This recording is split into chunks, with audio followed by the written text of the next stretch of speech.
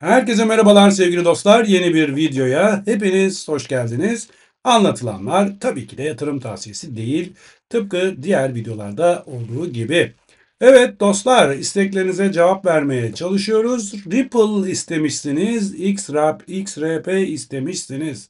Bakıyoruz. Bitcoin %6.80, Ethereum'un %8.50'ye gittiği, yükseldiği bir günde Ripple'da kendinden beklenmeyecek kadar yüksek bir performans gösterdi. %4.14'lük bir yükseliş. Ripple ağırdır arkadaşlar. Ripple kamyondur arkadaşlar. Çok zor hızlanır. Çok zor hareket eder ama bir hareket etti mi de gerisin geri gelir gider. %4'lük bir yükseliş var Ripple tarafında. Bu hafta zararda olan Ripple bugün yapmış olduğu yükselişle birlikte %2.20 kâra geçip aylıkta yapmış olduğu zarardaki yaraları sardı. Sadece %1'lik bir zarar var son bir ayda Ripple cephesinde.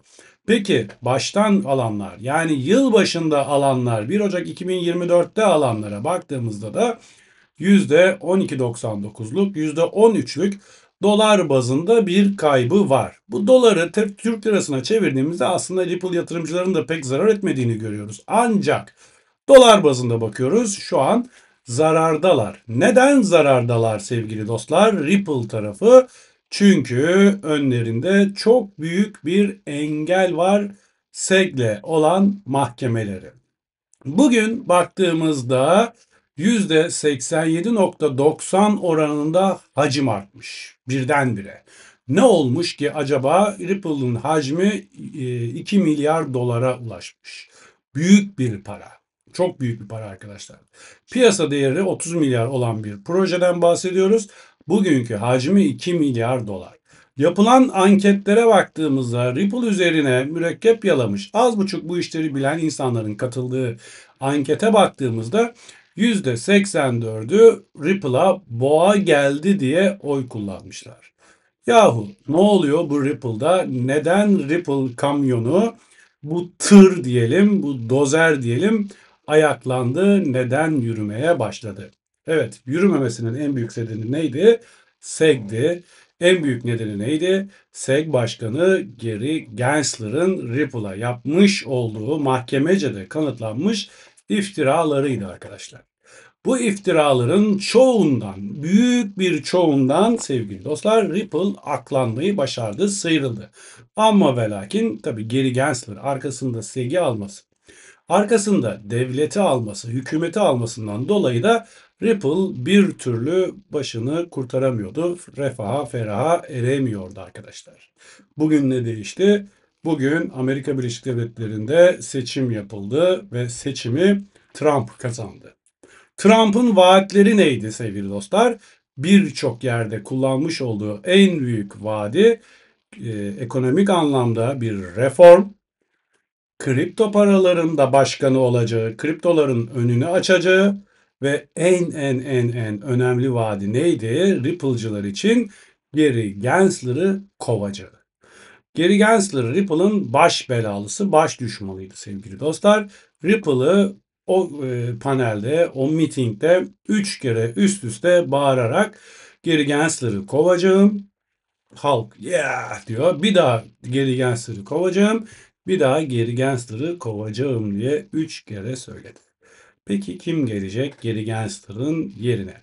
Şu an yapılan araştırmalar, yapılan anketler e, kimi gösteriyor? Notlarıma bakıyorum arkadaşlar. İsimler yabancı olduğu için. Kripto'nun annesi lakaplı SEC üyesi Hester Pearson bekliyorlarmış arkadaşlar. En son bu Hester Pierce Gary Gensler'ın da olduğu yani kendi başkanının da olduğu bir panelde Gary Gensler'a bakarak SEG'i içinde bulunduğunuz kurumu kendi menfaatlerinize göre, kendi çıkarlarınıza göre keyfi olarak yönetiyorsunuz. Bu e, SEG'e yakışmıyor. SEG'in adını kirletiyorsunuz. Zaten kendinize kirli bir insansınız gibilerden laflar etmişti ve bu annenin önü açıldı. Annenin başkan olması durumunda ya da Gary Gensler gitmesi bile yeterli aslında. Gary Gensler'in gitmesi durumunda Ripple'ın önü, XRP'nin önü açılacaktır. Bu kamyon artık paldır baldır baldır baldır freni patlamış bir e, kamyon artık uçuşa geçecektir gibi görülüyor. Şöyle teknik olarak baktığımızda arkadaşlar ne diyorlar bize göstergeler? Ripple tarafında ala dönmüşler arkadaşlar. Burada önümüzde en büyük direnç, en kuvvetli direnç, aşılması en zor kale. İstanbul'un surları gibi duruyor arkadaşlar. O da basit hareketli ortalamanın 200 günlük basit hareketli ortalamanın 536'dan geçmesi. 536 üzerinde günlük kapanışlar arıyoruz. 536 üzerinde birkaç günü devirdikten sonra Ripple'a da gerçekten boğa gelmiştir. Ripple'da güçlü yükselişler gelmesini bekliyoruz şeklinde yorum yapacağız. Şu an bu seviyenin altında. 530 530 537 diyelim hatta. Şu an fiyat 535. Çok çok az. Yarın at, atar üstüne, öbür gün atar. Acelemiz yok. Şu an toplama bölgesindeyiz diyebiliriz Ripple için. Yükseliş için, sert yükseliş için. Bugün yükseliyor, yarın gene yükseliyor. Ondan sonraki gün hafif bir backtest, sonra tekrar yükseliyor diyebilmemiz için 200 günlük hareketli ortalamanın üzerine atması gerekiyor ki çok az kalmış. Şöyle baktığımızda grafiğine, geçmiş grafiklerine baktığımızda Ripple geliyor. E, hayırlı uğurlu olsun. Ayı sezonu. Ayı sezonundan yukarıya doğru boğa başladığında sevgili dostlar bütün coinler 100x, 50x, 30x bilmem ne x yaparken Ripple öyle büyük bir yükseliş yapamıyor. Yapmış. Yani Allah bereket versin gene yükseliyor ama diğerleri kadar değil arkadaşlar. Diğer akrabaları kadar, diğer coinler kadar. Mesela bunun en büyük rakibi Ethereum'du. Bir Ethereum'la fiyatları hemen hemen aynı gidiyorlardı o dönemde. Ethereum bugün kaç para? Ripple bugün kaç para? Anlatabiliyor muyum? Yani derdim o. Ethereum'la kıyaslayın fiyat anlamında. Ripple'ın gidemediğini görüyoruz. Ve bugün geldiğimiz noktada da Ripple'ın önü açılmış. Şöyle formasyonlara baktığımızda şurada bir Golden Cross var. Golden Cross'tan sonra bir backtest ve ardından da roket görüyoruz arkadaşlar. Bugün geldiğimiz bölgeye geldiğimizde evet şu anda yine bir Golden Cross var ve kaç gündür süren bir düşüş var. Ardından güçlü bir roket niye gelmesin? Hedef ne arkadaşlar? Hedef şimdilik 2021'deki boğa hedefi 2021'de gelmiş olduğu hedef bizim için son derece yeterlidir. 1.90'lar hadi bilemedin 2 dolarlar. 2 dolar hedefi bizim için gayet makul bir hedeftir. 2 dolara gelsin arkadaşlar. Yani gelsin 2 dolara tekrardan yeni hedef veririz. O önemli değil. Şu an için görünen o hani elimizde bir çocuk var arkadaşlar. Bir bebek var. Yeni kararı alınmış. SEK mahkemesi işte şusu busu yeni bir bebeğimiz var. Bu bebek ileride büyüdüğünde kaç kilo olur diye bir soru soruyorsunuz şu an. Aynen odur yani bu hedefi kaçtır diye. Bunun anasına bakarız. Kaç kilo? Babasına bakarız. Kaç kilo? Sülalesine, dayılarına, amcalarına bakarız. Kaç kilo? Ve şu an bu bebeğin gideceği yer 2 dolar olarak söyleyebiliriz. Bu bebek 200'lere gider. Sonrasına sonra bakarız. Bir de baktık ki boğanın yarısında ergenlik döneminde daha burada. E bu çocuk daha büyüyecek. Sonrasına sonra bakarız. Çünkü bu boğa hedefleri konusunda çok fazla e, olumsuz, olumlu yorum geliyor. Şimdilik elimizdeki veri bu. Destek dirençlere baktığımızda sevgili dostlar tüm zamanların dibi. Tüm zamanların tepesi. Yardım alalım. Fibonacci'den yardım alalım. Tüm zamanların dibinden tüm zamanların tepesine doğru bir trend çizilimi yapalım sevgili dostlar. Ve müsaadenizle bunu 4 saatliğe almadan önce bir şey daha var. Tepe dedik ya arkadaşlar burası. Tepeden diplere doğru baktığımızda bir başka tepeyi görüyoruz. Burası. Bir başka tepe görüyoruz. Burası. Ve bu tepeleri de birleştirdiğimizde canlar düşen trendin kırıldığını, üzerine attığını, üzerine attıktan sonra benim teknik analiz videolarımı izleyenler bilir %80 o kırıldığı yere düşer ardından yükselir demişiz. O back testini de geri çekilmesini de yaptığını görüyoruz uzun vadede. 3 günlük grafikte uzun vadede konuşuyoruz. Evet, şimdi 4 saatliğe kısa vadeye bir alalım sevgili dostlar. Kısa vadede bize ne söylüyor?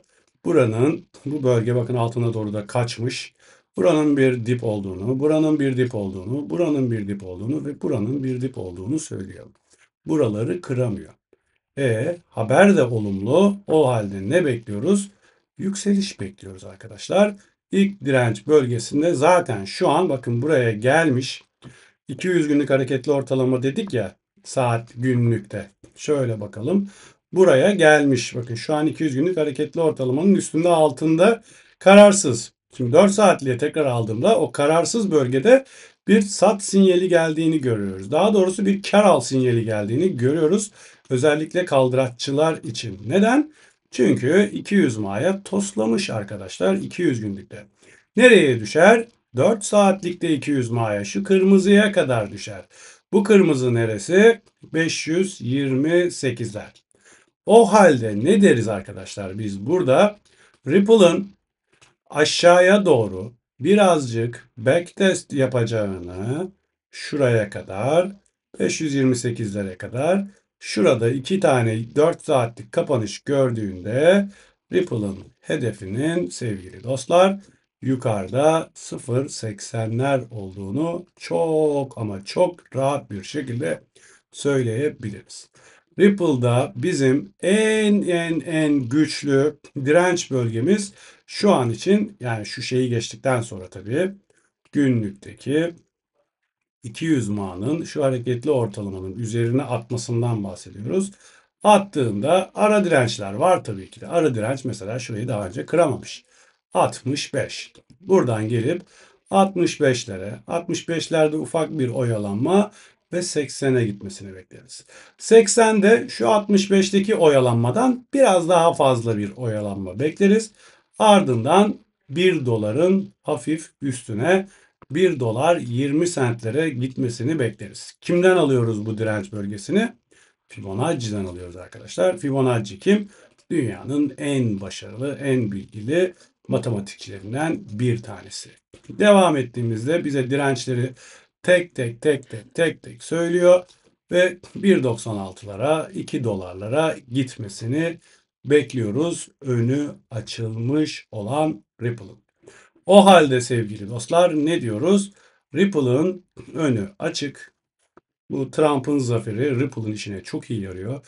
Geri Gensler'ın alınması, Ripple'ın mahkemesinin tamamen kapatılması, bu tip olumlu haberleri artık bekliyoruz. Olması gereken bu.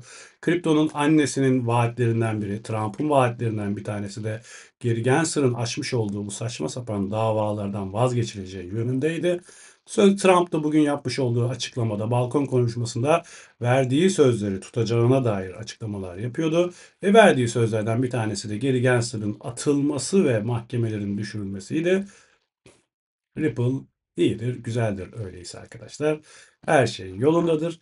Dediğim gibi Ripple kamyondur. Ağır ağır yükselir ama yükseldiği zaman güzel yükselir arkadaşlar. Kendinize iyi bakın, hoşçakalın. Allah'a ısmarladık.